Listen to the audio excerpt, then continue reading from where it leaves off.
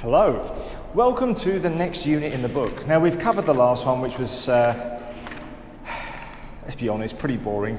Um, instructions is a bit of a, a lazy chapter in the book where they, they clearly couldn't be bothered to do something properly, so they just borrowed things from other books and kind of recycled it. The next one is a lot more valuable and a lot more useful, and unfortunately for you, we're going to be going into a lot more depth. Um, so if you turn to page, I've lost it, hold on a minute. Unit 3, page 73, narratives. Now, narratives are a fancy word for stories. A story laid out is a narrative. And the reason this is going to be going into a lot more depth is because this is very much what I do. Um, I'm a novelist. I write books, I write short stories, I write articles and blogs, but mostly I focus on narratives. Um, I've spent years developing this, years working on this, and this is something I really enjoy teaching. Um, and I think it's something that's very, very important. And I'll explain why over the course of this unit, why this is such an important unit in the book and this is such an important topic. Stories aren't just stories. Stories teach us um, all about how the world works and how um, older people want you to see the world. Um, now, we've mentioned this before in class. Um, fairy stories, for instance, the old legendary fairy stories, have a point, they all have a purpose. Um, a couple of great examples would be um, Little Red Riding Hood. Now, in Little Red Riding Hood, we've got an on the surface narrative of a young girl who wears a red hood, who goes out into the forest and is eventually eaten and killed by a wolf. Now, in the original story, uh, it kills her grandmother and then it kills and eats her as well. Um, that was changed because, well, we'll get to that in a minute. Um, now, the reason that this story existed and was so violent and so bloody is because it was meant to give you a gut punch. It was meant to hurt you as, as, a, as an audience member. It was meant to shock you. Because the reason is the wolf represents uh, life and you are the child. You're the one projecting yourself into Little Red Riding Hood. The story is meant to make a point about childhood and how dangerous childhood is if you don't listen to the good advice from your parents. Now, if Little Red Riding Hood had done what her mother said and gone through the woods without stopping and talking to strangers, nothing would have happened. Her grandmother, excuse me, grandmother would have survived. She would not have got eaten by the wolf. Everybody would have been happy. Dogs and cats would have lived together, it would have stopped raining, and donuts would have been free. It would have been fantastic. A new world for everybody. But she didn't, and so she was killed. This makes a great point to the children that, you know, I've really, really got to listen to my parents. Uh, another one would be the three little pigs. Now, this is a bit more complex. Now, in the story of the three little pigs, we've got these three pigs. Uh, one makes a house out of straw, one makes it out of bricks, uh, one makes it out of wooden sticks. Um, the wolf comes for them and he kills two out of the three pigs. Now, there are variations on the story, but let's go with the original one where he starts with the straw house, blows the straw house down, eats the pig, then moves on to the stick house, does the same, moves on to the brick house, can't blow the house down. Now, there's two variations on the story. Even, no one really knows which was the original. Um, in one of them, he just walks away, and in the other one, he comes down the chimney and is boiled alive. I think I prefer the original version uh, of, of the two I just said, where he can't blow down the brick house, he gives up, walks away because this is a better um, example of how life works. Again, we've got the wolf, the evil wolf, representing life. Life is coming for you. And the three little pigs don't represent three physical pigs. They represent you on your journey through life. We start as a child doing things as cheaply, lazily, and as easily as possible. We build our house out of straw. We learn a few tricks and we build our house out of sticks. We build them out of bits of wood, and it's better but they're not going to last. And life is going to come for us and it's going to destroy our house. And we only survive and we only succeed when we finally become the last pig who builds his house out of bricks. So, in other words, you learn all through the stages of childhood towards doing the job correctly, and it's the only way that it can be done. Otherwise, it's going to fall apart. Life is going to come up and destroy you. So, we go through those three stages. It's, it's a story that sounds on the surface rather sophisticated for a child's mind, but unconsciously, even a young child, even, even James, five years old, would be able to pick up on what this story is really all about. It's all about learning to do things properly, and we understand that at an unconscious level. Um, we've also got things like The Little Mermaid. Now, The Little Mermaid was changed um, very badly by Disney to make it have a happy ending. In the original ending, it's not a happy ending at all. She, um, she goes onto the land she's warned not to, and eventually she turns into sea foam. She melts away because the story is about identity. Um, uh, think about what Americans are doing now. They're trying to pretend that women can be men and men can be women. Women can, uh, women can turn into uh, masculine creatures, and masculine creatures can now have babies. That's nonsense, and we all know it's nonsense. And the original story of The Little Mermaid is that when she goes on land, she is rejecting who she really is. She's pretending that she's something she's not. She's lost track of her own identity. And when you lose track of who you really are, when you give up your identity, you become nothing. So she dissolves into sea foam and just melts away. That's what happens in the original story. Now, that's not a narrative that modern Disney or modern Hollywood wants to portray. You know, stick to your identity, learn who you really are. But that's really what life's about. If we look at the Three Little Pigs narrative, we go through each of the three stages as we grow into a better, stronger person, that we can do things right and we can, we can survive better. And then, of course, we, we learn to establish our identity through other stories like The Little Mermaid, and we learn that the consequence of not finding out who we really are and then being the best version of ourselves the consequence is to have nothing. We just lose ourselves. And all of these stories have elements of this Cinderella, um, all these other stories. They're all put together to teach children the valuable lessons that you have to learn through life. You've got a choice. You can either learn them the hard way by letting life beat the crap out of you, or you can learn them the fun way through stories. And that's what narratives are. Narratives are taking us from where we are into a story where it happens to somebody else. Now, stories are incredibly valuable. Um, you learn history. Now, history is meant to be an ongoing lesson so that we can always look back at our past and think, this is what happened. These are the facts, these are the figures. But a book written by a human being experiencing things years ago, now that's a, a literal time machine. That can take you back into the mind of somebody seeing it firsthand for themselves. Now, that's why horror stories, like real genuine horror stories written during wartime, are so valuable. First, they killed my father, and, and millions of books written about World War I, World War I specifically, because it was so brutal and so awful. It takes us into the mind of somebody who was really there, and it teaches us one important lesson that this can never be allowed to happen again. And that's why these stories are so valuable. They, they can take us into somebody else's experience to give us a genuine first hand experience of what it might have been like to be there. We don't get that from a history book. I can tell you that the Pol Pot region happened, uh, the Pol Pot time happened so many years ago and it lasted for so long. But those are facts. When we read about what it was like for someone actually seeing it for themselves, that's a whole different thing. And that hits you on an emotional level, and we're emotional creatures. And that's why these kind of stories, these narratives, have such value even fictional stories. And I write mostly fictional stories, but I do it so that I can embed metaphors and allegory, and I can teach things that I've learned along the way through life. I can teach them to other people. I can give them the lessons that I've picked up the hard way so that they can understand them the easy way and not make the same mistakes I've made. And that's what stories could do. Stories can teach us, they can educate, they can transport us to different times and places, and they can take us on a journey into something that we would never experience. You've read, uh, many of you have probably read Harry Potter. You are never going to be um, a young boy coming from England. You are never going to be a wizard. You are never going to be living in Hogwarts. You are never going to be all of these things. But when you read that story, just for a little while, you are.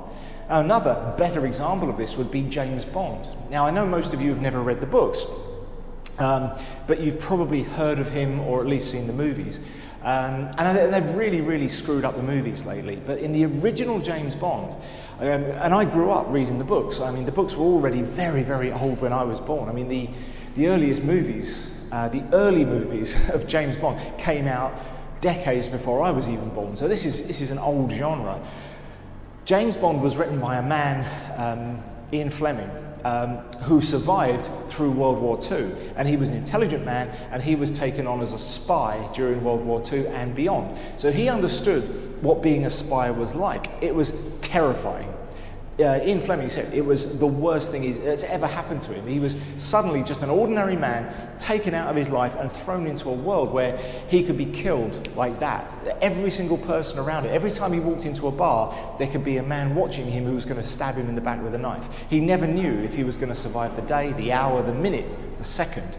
And it was a horrifying experience. So when he wrote James Bond, the idea was to take you, the audience, into a world that you should never have to live through. He was taking you on a journey into fiction so that you could see it from his perspective. So James Bond was what we call an everyman character. When he started out in the books, James Bond is just an ordinary man with no special abilities who sees the world through our eyes. So we go inside James Bond. We imagine ourselves as James Bond and we see this dreadful, awful world that really did exist, projected for us in a fictional setting, so that we can imagine what it would be like to be surrounded by death and horror, but a real kind of horror where it's coming for us psychologically every second. And that's the value of narratives. That's why they're so important, and that's what attracted me to telling stories uh, when I was very much younger than you. And in fact, it started with me with, uh, uh, see, I, I, write on uh, edgeverse.org. That's my, my website. I write with my oldest, best friend, Seth. Um, now, we met at school, and I think we were about 11 years old, and I just watched this dreadful, awful science fiction movie at the weekend. Because we love science fiction. We grew up with uh, um, Star Trek and Star Wars, and we, we loved it. Everybody loves sci fi. Just like your generation loved uh, fantasy, like Twilight and Harry Potter and all that kind of stuff because that's the kind of uh, media that you've had. My generation, we had Star Wars and Star Trek and lots of other science fiction, so we loved science fiction. Um, and I'd seen this dreadful sci fi movie, and I said, Ah, oh, it was really bad. It was so bad that even I could do better. And he said, You know what? Prove it. And I've spent the rest of my life doing exactly that, trying to prove that I can write a better story. Um, and now, um, unfortunately for him, he got dragged into my world too. So now we're both writing novels together. And we, do, we do write sci fi, horror, all sorts of other stuff. Um, and we, we work together to, to write um, the kind of books that we want to read. Um, so, yeah, happen together. So, let's have a look at page 73, Unit 3 Narratives. So, unit outcomes. By the end of this unit, you'll be able to listen for features of narratives. Now, I know the features of narratives so well that me and uh, Seth, my, my oldest friend, who now lives in Japan, we wrote, if you go to our website, uh, a novel approach. And a novel approach is a literal guide how to write a novel. We wrote everything about writing a novel. We've got articles all over the site about exactly this how to see the features of narratives, how to put a narrative together, how to write a story, how to improve your story. So, this is something that I really understand and really, really strongly believe in. Um, read and understand narratives, poetry, and science fiction. Um, not as easy as you think. Um, understanding narratives, there's a surface narrative and there's a much more complex narrative beneath. Now, a very, very good filmmaker, um, Stanley Kubrick, once made a film called 2001. Now, in 2001, it's about aliens who are represented by a big black obelisk. It just appears. Um, and the surface narrative is that the human race have discovered these black obelisks, and through history, these black objects are aliens that have been teaching us how to do things. That's the surface narrative. Now, really, beyond the surface narrative is a whole different story, and you have to be able to look through the surface narrative to even understand what the film is really all about. Most people can't. But the black obelisk, if you measure it, is exactly the same size as a cinema screen turned on its side. And all the way through is a little references in the movie telling you, look at it on its side. So when you turn it round to the side, every time you see the black object, really what it's telling you is there's now a new story and you've got to look through the surface narrative. Now that's an extreme example of how surface narratives work, but all stories to a degree have a surface and a, and a subsurface narrative. Now, last time I taught this in grade uh, 11, I guess, uh, my class challenged me to do um, Frozen. And my wife loved it too. My wife likes Frozen. So she said, Yeah, analyze Frozen. So I said, All right, you know what, we'll do it. So I got out my notebook, we put on Frozen, and I sat there and I made notes all the way through it. And we watched Frozen, and I tried to find the surface narrative and then look beyond to see what the film was really all about. And really, what it's about is the two characters, Elsa and her sister, are not two characters, it's one person. It's one person split into two. So what you've got is if you look at the models, the CGI models of the two characters, they're identical except for a color change. And that's trying to warn you psychologically, unconsciously, this is the same person. And there's lots of little hints in it all the way through. There's lots of um, references. I've done a video on this. If you want to go to my, uh, my YouTube channel, you can, you can watch it. It's quite long, it's about 45 minutes of how this is uh, split. There's lots of references to uh, split personalities and this not being real and look, look further to see what's really going on. And there's uh, the, the overwhelming evidence is the bit where the um, Elsa um, runs away from the palace, and then she creates her ice palace, it's, it's within seconds. She literally turns up at the ice palace three or four seconds later, and the others take two days to get there. So they're not really going somewhere physically. She's imagined herself there. And all the way through, it's like whenever she's split from one character to another, nobody talks to her. Nobody actually speaks directly to her face. When they're talking to her, they're actually looking at the other character. So all the way through is this um, underlying narrative that these are really one girl who's who's split. You know, she's got this idea that she wants to be a young free spirit and live her life, but she's got the duty to the throne and it's divided her loyalties two ways. Um, there's actually another narrative to it as well. Um, the, the, the reason that she's getting the split is because um, she's growing up. She's just about at that age where a woman is coming to realize that she's no longer a young girl, that men are starting to notice her. And that's why we get the song at the end where she sings um, uh, Let It Go and she changes clothes and her clothes become um, adult. You know, she goes from having younger female clothes that cover everything to being more revealing. And it's not an accident. She's a young girl uh, becoming a woman. Um, the, uh, the second movie is even darker. Believe me, it's got some really nasty themes in it. I didn't do a full analysis of that one, but I was dragged to the cinema. And the surface narrative is the same. It's, a, it's about a woman um, on her wedding night doing that thing for the first time. That's really what it's about. That's why the dam is about to burst open and she's about to be flooded. And when the flood happens, everything's fine after all because it was nowhere near as bad as she thought it was going to be. It's all about that first time nasty stuff. Disney does this a lot, and this is unconsciously picked up by a very, very young audience. So be careful. Seeing a narrative is not as easy as you think it's going to be. Um, poetry and science fiction. Science fiction is something I absolutely love. We are going to look at science fiction a bit more uh, closely.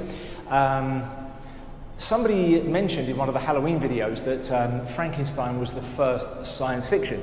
That's not strictly true. Um, science fiction has been going back many, many thousands of years. Um, but it's true in that it's the first modern science fiction. Science fiction um, aims to take any given subject and ask, what if? Science fiction is basically looking at the world, applying logic and reason, and asking what would happen if I changed a few details and then we went forward from that moment. Um, you could argue even that Harry Potter would be science fiction because it asks, what if these things were real? What if magic was real and it was happening right now? And so long as there's some kind of scientific explanation for why it could happen, then it's science fiction. Uh, it's all about interpretation. Uh, and poetry.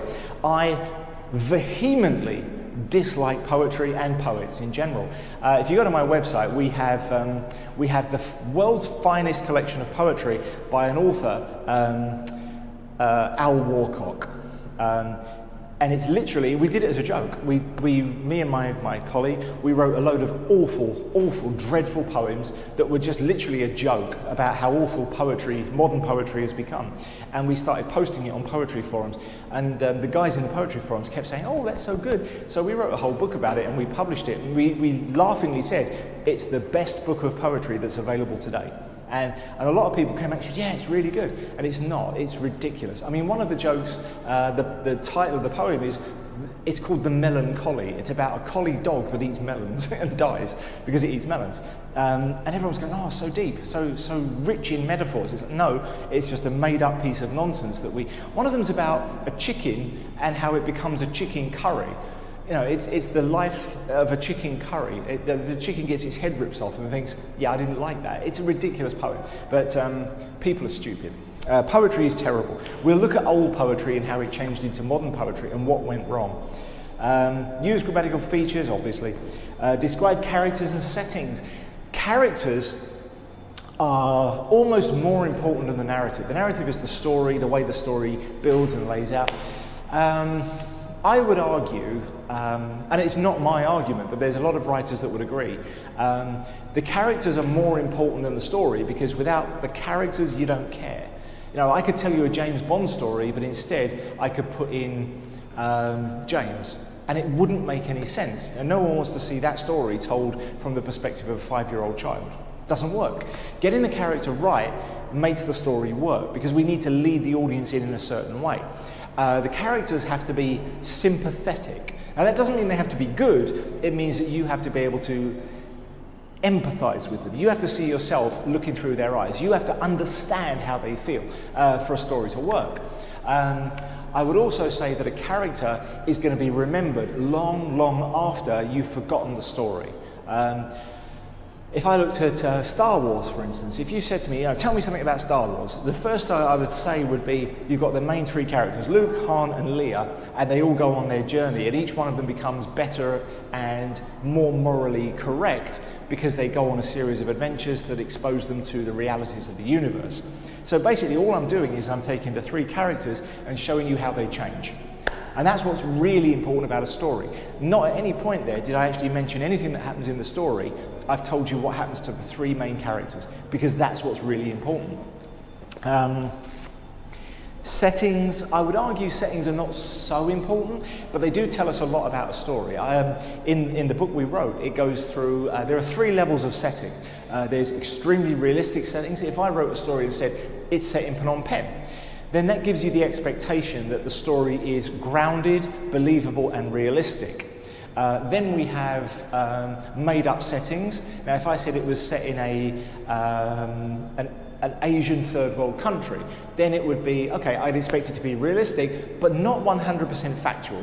So it wouldn't be as, as down to earth and grounded as if I actually mention the name of a real city. And then finally, we can just say, doesn't matter where it's set because it's about the story. And those three different levels of settings tell us a lot about what kind of story we're about to read. Um, a very, very strictly well engineered and accurate story would mention a city by name. Um, if we don't mention it by name, we have a fictional version of it, then it's, it's an interpretation. And then if it's just a made up place, doesn't really matter because we're not talking about the setting. So there are different levels of settings that, that tell us different things about the story. Uh, give a description and work in a group to tell a story. Hopefully, we'll be back to school soon and that can actually happen. Solve problems in creative ways. Um, wow, yeah. Um, we see this on the forums a lot. Uh, one of the biggest questions that people answer is how do I continue my story? What do I do next? I've, I've started writing and my character's gone left and right and I don't know what to do next. You have to be able to solve that problem. You have to be able to come up with solutions um, before you can actually create a story. Most people don't plan the story out in the first place, so their stories fail for that very reason. Um, we haven't solved the problems, we've created new problems for ourselves. A lot of people, unfortunately, these days are that stupid and they think they have a right to write a story. Writing a story is very difficult. It can take at least 10 years just to master the art of being able to write, let alone actually creating a story worth reading and creating the characters and everything else. Uh, and they think they should just be given the privilege of being able to write a story, and of course it goes wrong, and then they go and say, Well, how do I solve this problem? Well, you've caused the problem for yourself by yourself, so it's up to you to fix it. The only way, in a lot of these uh, examples, the only way to fix it is to give up. Um, you either have to admit that you're not a writer and go away and do something else, or abandon the story that you've invested hundreds of hours in, uh, and next time learn to plan it properly. So you need to find creative solutions. Describe characters and events and write a story. We'll see if we get to that. We'll see. I won't be doing it if we're still online, just from the point of view of trying to market. Uh, okay, so let's have a look at overview. Um, creative writing uses the language of imagination. I would say that writing is painting. It's painting a story in your imagination using words instead of paint. So um, the importance of writing a novel um, over, over a story uh, made into a movie is that I'm literally involving two people in the process, me and you. I'm describing it, you're imagining it, there's only two people involved in the entire thing. It's just one circle between two. Um, for that reason, I'm literally taking my thoughts and putting them into your head. And that never works perfectly. And it can't work perfectly, and that's the beauty of reading a book.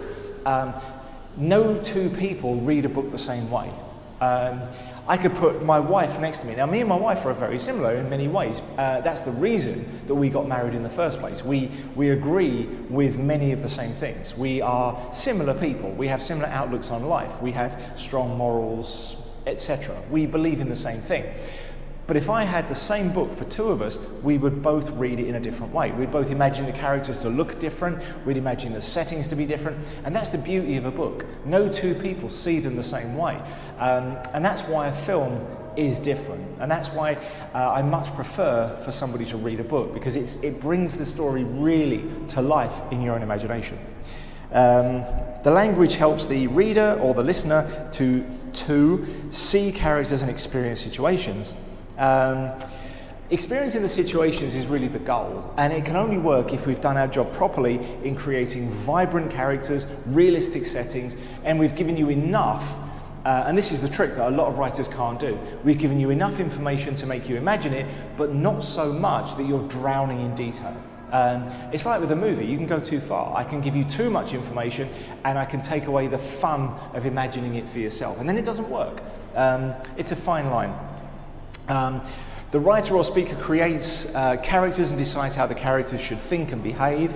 Um, I would agree with that to a point. Uh, it's got to be logical. Um, if I create a character, I do a lot of research in making them feel as real as I can um, unless it's a comedy, in which case we want them to be um, exaggerated.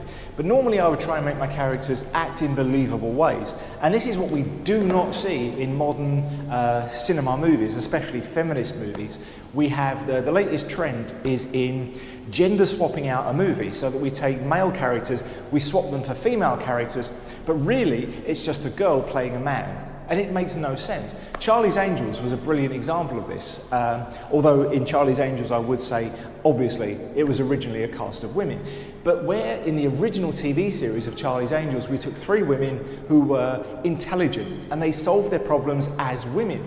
In the new one, they're basically three men and they go around beating people up. So you've got these gigantic Russian bodyguards and this little girl about this size is beating the crap out of him and it makes no sense. And the audience is looking at it thinking, I can't believe this. This drags me out of the narrative.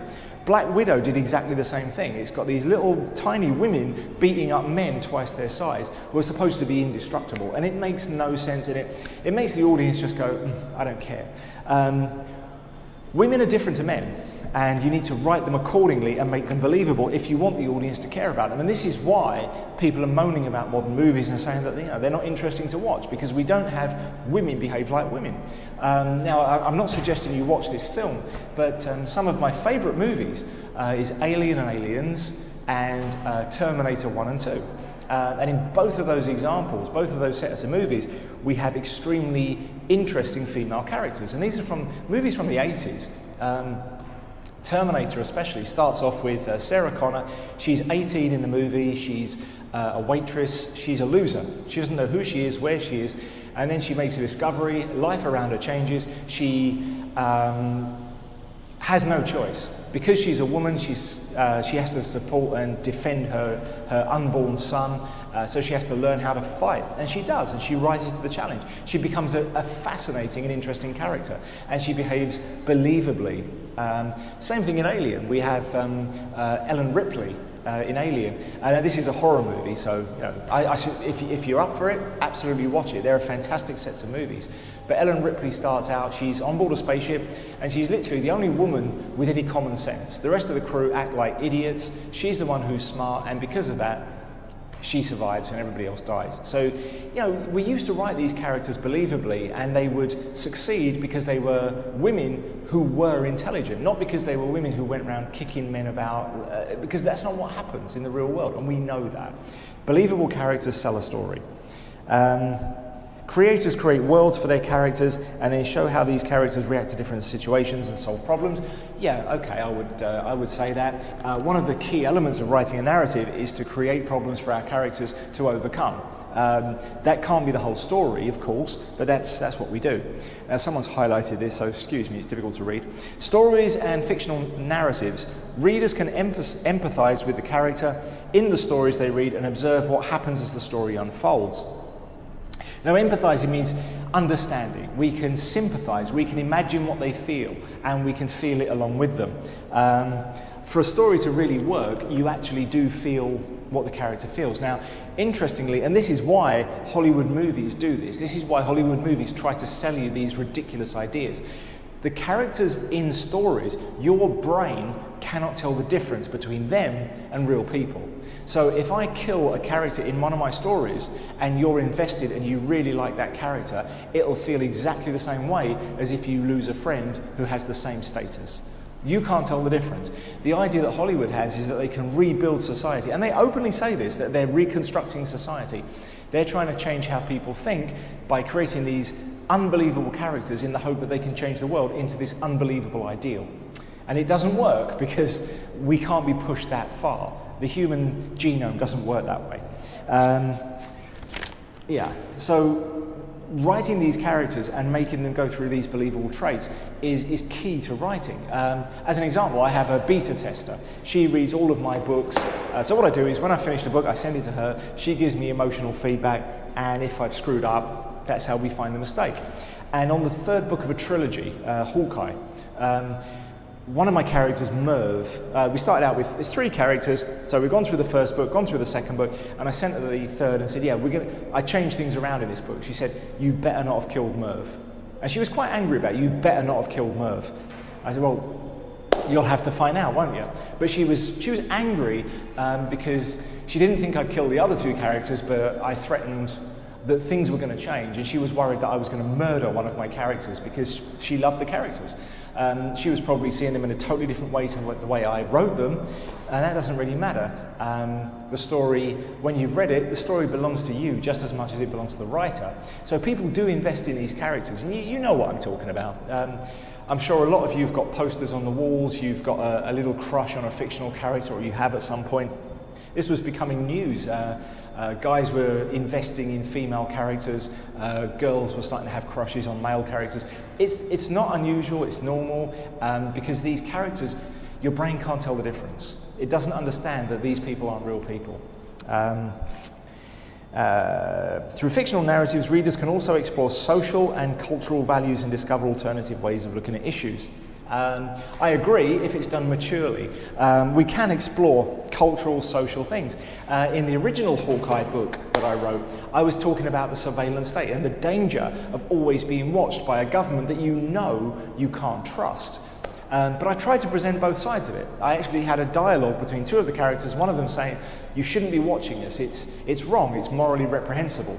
Um, and then the other character said, You also just told me to do more of it um, because another character had died, and he said, "Ah, oh, if only if only we'd had more cameras on this person, we might have been able to save his life." And she said, "Yes, that's why we do it." So I tried to show both sides of it by having an argument: should we be watching, or should we be watching more? Which is it? And I had both characters uh, eventually not being able to answer the question because I trusted my audience to have answered it for themselves. They have to decide. I've presented both sides of it, looked at it in two different ways, given the information to the audience, and trust the audience to work out for themselves what they have as an opinion. That's how it should be done. Now, in Hollywood movies, it absolutely isn't. There are no right wing movies ever made in Hollywood, everything is left wing. And that's extremely dangerous and unbalanced. It's like with uh, YouTube and all the social media channels, you cannot um, be anti left wing. That you, are censored, you're blocked. You can't, um, you can't question any of the things that they don't like. Um, I can't even talk about it on this YouTube channel because literally they would block the video and I wouldn't be able to upload it. And that's insane. That's incredibly dangerous. So you can't be right wing. Uh, fictional narratives are uh, categorized according to the setting and the type of um, action that takes place. And this is a very weak look at how narratives work. Traditional stories take place in the past, uh, contemporary, realistic stories take place in the present. They don't have to be realistic. Um, tradition, I don't even, I wouldn't even call them traditional, historical stories, contemporary stories. historical stories take place in the distant past. The history of the time is usually true. Mm. Science fiction stories are, are based on imaginary scientific discoveries in the future. That's not true.